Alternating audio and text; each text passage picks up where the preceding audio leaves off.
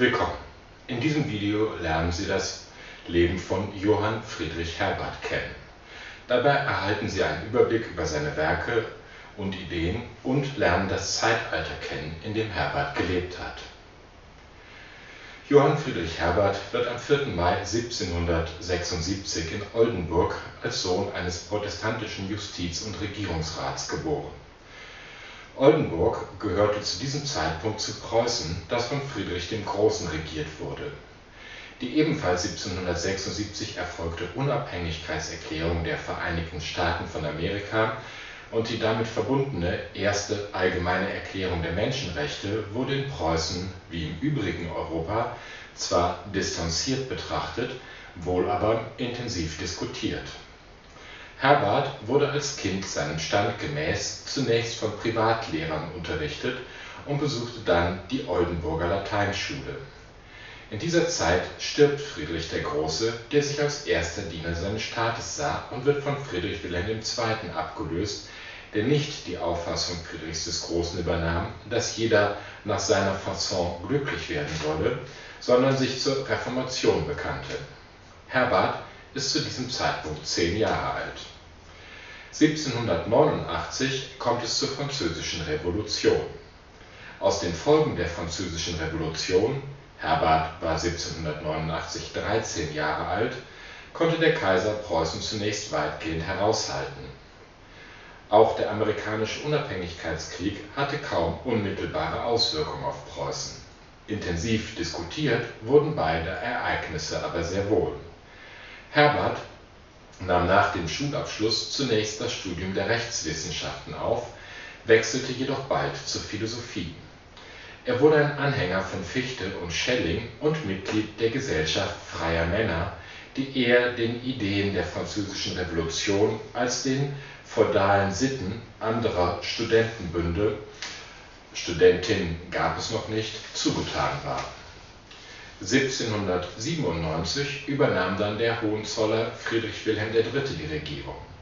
Herbart distanziert sich in dieser Zeit vom Idealismus Fichtes, bricht sein Studium ab und geht 1797 nach Interlaken in die Schweiz, wo er als Privatlehrer tätig wird die Rechenschaftsberichte, die er als Privatlehrer zu schreiben hatte, werden als Anfangspunkt der Verschriftlichung seiner pädagogischen Ideen gesehen.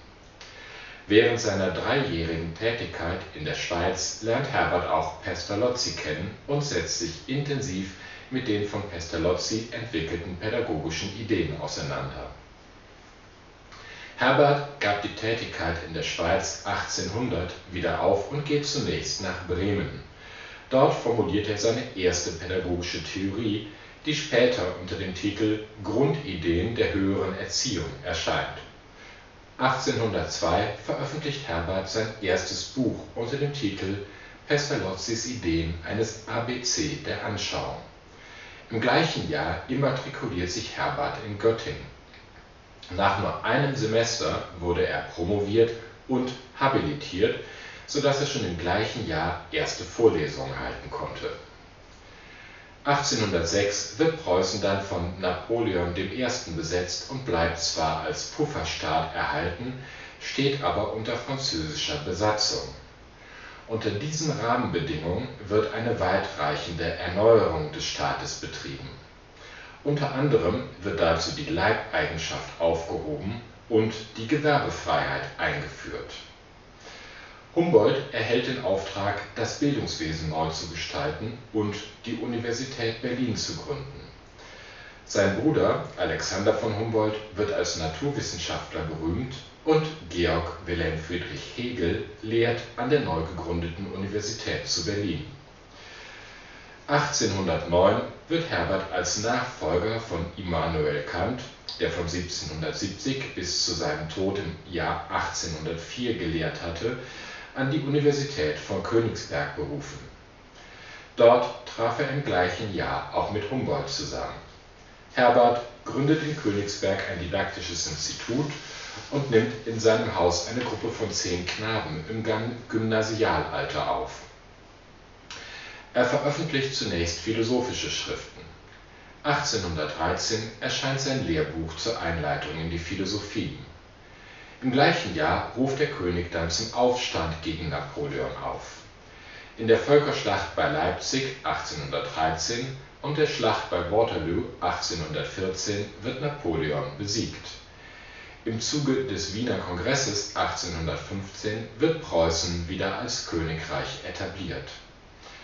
Herbert trotz der äußeren Wirren weiter und veröffentlicht eine Reihe philosophischer Schriften, in denen er sich als philosophischer Realist und gegen die spekulativen Ansätze von Fichte, Schelling und Hegel positioniert. 1824 und 1825 veröffentlicht er das Werk Psychologie als Wissenschaft, neu gegründet auf Erfahrung, Metaphysik und Mathematik. Darin stellt er unter anderem die Grenzen zwischen Bewusstem und Unbewusstem in den Mittelpunkt. Er entwickelt eine Gedächtnistheorie, die heute oft referierte Form des Kurzzeit -, Arbeits und Langzeitgedächtnisses vorwegnimmt. Die Gedächtnisform beschreibt er zudem in der Sprache der Mathematik und kann insofern als früher Informationstheoretiker verstanden werden. 1833 geht Herbert zurück nach Göttingen und veröffentlicht dort den Umriss pädagogischer Vorlesungen, sein pädagogisches Hauptwerk. In seinem Umriss pädagogischer Vorlesungen rückt Herbert die Bildsamkeit des Zöglings in den Mittelpunkt. Determinationslehren lehnt er ab und versteht den Menschen als individuelle Ganzheit, die in ihrer Epoche steht und in ihrem Denken an Inhalte gebunden ist. Diese Relationierung geschieht im Menschen jedoch nicht von alleine, sondern erfordert Erziehung. Herbert entwickelt neben der Bildsamkeit als nach wie vor zentralen pädagogischen Grundbegriff auch das Konzept des erziehenden Unterrichts und eine Methodenlehre, die sogenannte Formalstufentheorie. Diese beinhaltet vier Stufen: Klarheit, Assoziation, System und Methode. Im Mittelpunkt steht dabei die Absicht, die Interessen der Lernenden zu identifizieren und diese mit dem Wissen und der Kultur der Menschheit in Beziehung zu setzen. Dadurch soll im Menschen die Entwicklung einer gleichschwebenden Vielseitigkeit des Interesses und einer Charakterstärke der Sittlichkeit angeregt werden. Herbert wird in Göttingen zwar Dekan der Philosophischen Fakultät, schließt sich aber dem Protest der Göttinger Sieben, die gegen die Aufhebung der liberalen Verfassung im Königreich Hannover, zu dem Göttingen gehörte, im Jahr 1837 protestierten, aber nicht an. Er bezeichnet den auf den Protest folgenden Verweis der Professoren von der Universität zwar als Katastrophe, eine deutlichere Positionierung ist aber nicht bekannt.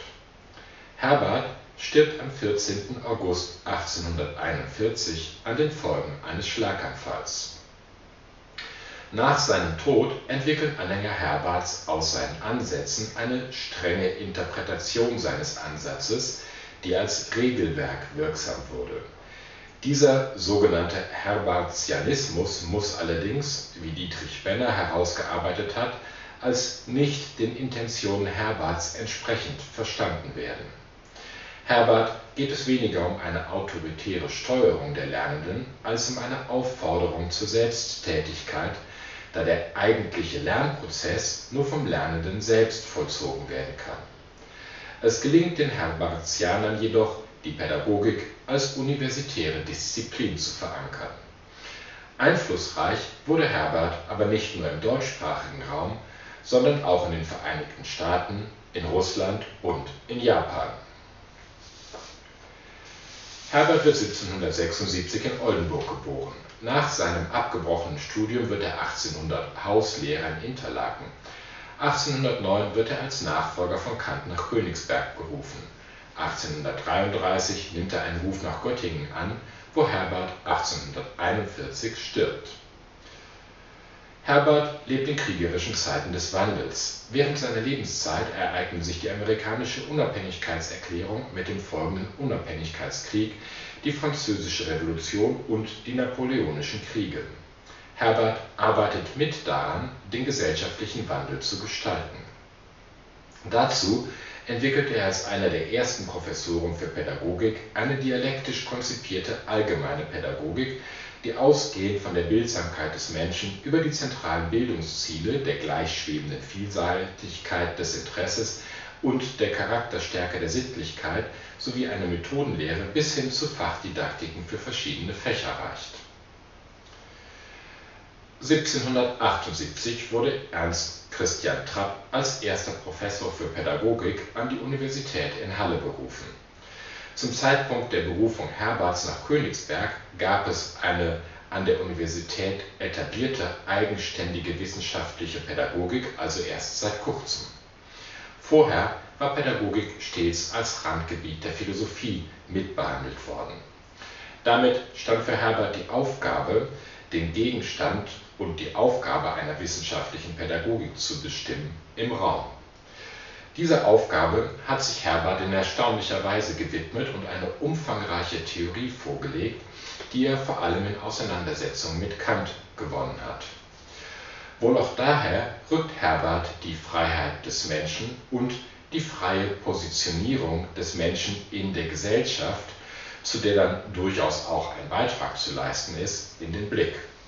Das tut Herbert allerdings, ohne sich politisch allzu sehr aus dem Fenster zu lehnen. Dennoch ist überraschend, dass nach seinem Tod sein Erziehungs- und Unterrichtskonzept, das deutlich liberale, aber kaum kapitalistische Tendenzen aufweist, in so unterschiedlichen politischen Kontexten wie im feudalen Deutschland, im feudalen Japan, in den demokratischen USA und dem kommunistischen Russland rezipiert und wirksam geworden ist. Insofern Herbart seine Methode explizit unabhängig vom Staat konzipiert und insofern trotz der antifeudalistischen Tendenzen nicht auf ein bestimmtes, etwa demokratisches Staatsmodell bezieht, ist dies in seinen Arbeiten möglicherweise schon angelegt. Dass die Methode in autoritären Staaten dann aber nicht zu einer größeren Freiheit geführt hat, könnte zu der Vermutung führen, dass eine allgemeine Didaktik nicht nur auf einen Begriff des Menschen, sondern auch auf einen Begriff des Staates bezogen werden müsste, was Herbert aber nachdrücklich abgelehnt hat